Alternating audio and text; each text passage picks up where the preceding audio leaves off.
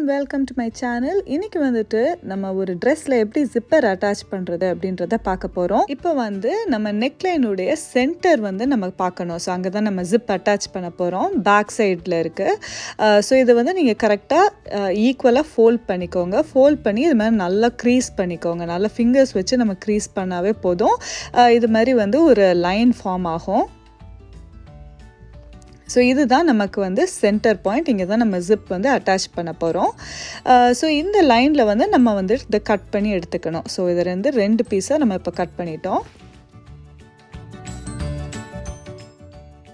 இப்போ நம்ம கட் பண்ண சைடை நம்ம கால் இன்ச் வந்து உள்ளே வந்து நம்ம ஃபோல்ட் பண்ணிக்கணும். ஸோ இங்கே தான் நம்ம ஸ்டிச் பண்ண போகிறோம் சிப்பை ஸோ நல்லா மடித்து விட்டுக்கோங்க.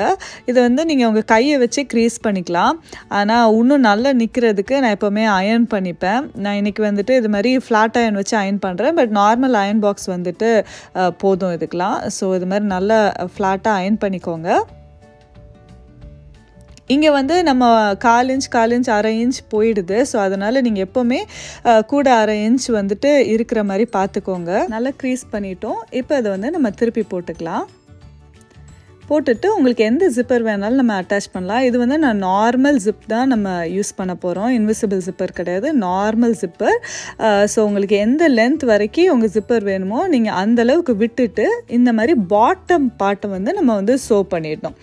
ஸோ நான் வந்து கீழே வந்து இவ்வளோ தூரத்துக்கு வந்து நான் சோ பண்ணிட போகிறேன் இப்போ நான் அதை திருப்பி காமிச்சிருக்கேன் உங்களுக்கு. ஸோ இது மாதிரி நான் சோ பண்ணியிருக்கேன்.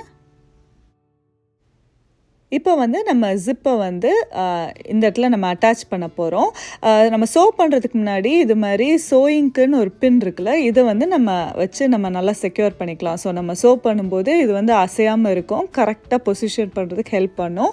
நீங்கள் பிகினர்னால் டெஃபினட்டாக இதை வந்து நீங்கள் ட்ரை பண்ணி பாருங்கள் ஜிப்புக்குன்னு நிறைய இதுக்கு வந்து இந்த பின் ரொம்ப ஹெல்ப்ஃபுல்லாக இருக்கும்.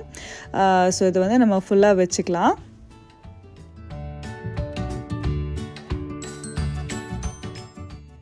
இப்போ நம்ம ஜிப் வந்து கரெக்டான பொசிஷனில் இருக்குது இப்போ நம்ம பின்னாடியும் பார்க்கலாம். ஸோ பார்த்திங்கன்னா இப்படி இருக்குது எனக்கு வந்து இந்த அளவுக்கு நம்ம ஸ்டிச்சஸ் இருக்குது ஜிப் வந்து கீழே வரைக்கும் இருக்குது ஸோ அதோடு நம்ம வந்து க்ளோஸ் பண்ண போகிறோம் இதுக்கு வந்து இதுதான் ஜிப்பர் ஃபுட்டுன்னு சொல்லுவாங்க. ஸோ இதை வச்சு நம்ம சோ பண்ணணும். நார்மல் ஃபுட் வச்சு நம்ம ஜிப் சோ பண்ண முடியாது. ஸோ ஒரு ஒரு பின்னாக எடுத்து நீங்கள் நார்மலாக நீங்கள் ஸ்டிச் போட்டால் போதும்.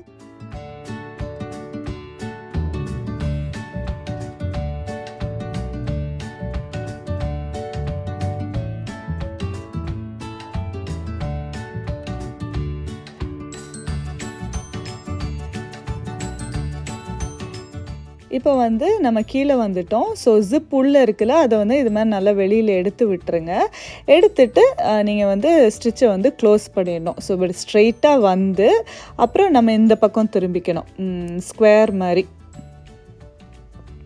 ஸோ ஒரு சைடில் இருந்து அடுத்த சைடுக்கு நம்ம இது மாதிரி வர்றோம்.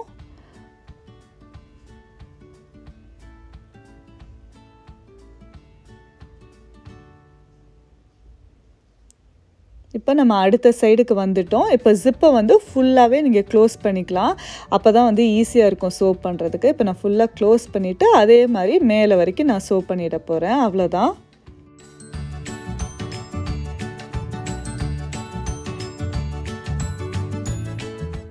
மேலே வரும்போது ஜிப் வந்து கொஞ்சம் தட்டும். ஸோ என்ன பண்ணுறீங்கன்னா ஃபுட்டை மட்டும் லைட்டாக தூக்கிட்டு ஜிப்பரை வந்து கீழே இறக்கிடுங்க.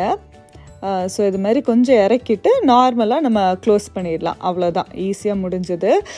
ஸோ ஜிப்பர் வைக்கிறது ரொம்பவே ஈஸியான விஷயந்தான் நல்லா நீட்டாக கரெக்டாக ஃப்ளாட்டாக வந்துடும் இந்த வீடியோ ஹெல்ப்ஃபுல்லாக இருந்தால் மறக்காமல் சப்ஸ்கிரைப் பண்ணுங்கள் see you next time with another goal episode until then bye bye